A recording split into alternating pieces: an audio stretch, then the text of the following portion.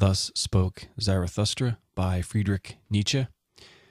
So I want to talk a little bit about, a little bit about that, why I bought it, and um, what I'm looking to get out of philosophy. You know what you know why philosophy is uh, a, it's important to me and things like that. Uh, share uh,